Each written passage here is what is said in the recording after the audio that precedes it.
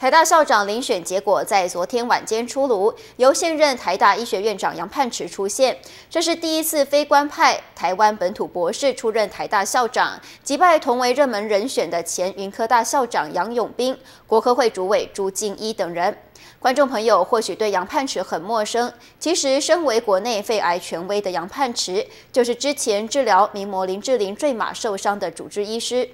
被媒体形容为个性低调深沉的杨盼池，未来将如何带领台大？各界关注。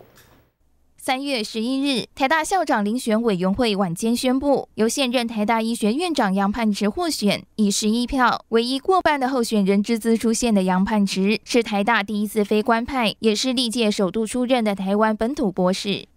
今年六十岁的杨盼池毕业于台大医学院临床医学研究所博士班，二零零六年获选为中央研究院院士，隔年接任台湾大学医学院长，专长胸腔重症医学、肺癌基因体学等，致力肺癌临床研究，是国内肺癌权威。林百里、孙悦、陈定南等人都是他的病患，也是名模林志玲坠马受伤的主治医师，曾获选台大教学杰出奖、十大杰出青年、教育部学术奖及国家讲座等。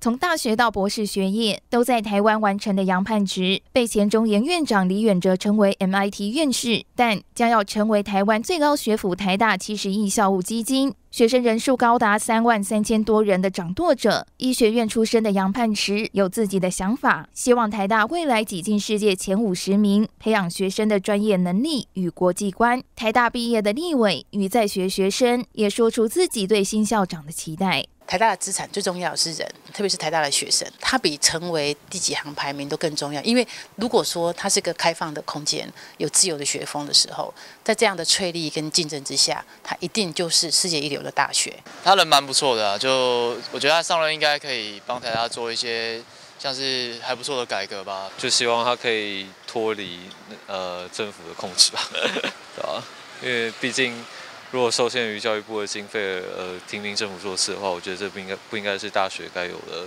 就是理念或方向。杨盼池将决定未来四到十二年台湾产学界的走向。这位 MIT 的医学博士是否有带领台大迈向世界一流大学的能力？六月份交接之后，各界将持续关注。新唐人亚太电视郭云开、卢天长、刘姿颖、李晶晶，台湾台北报道。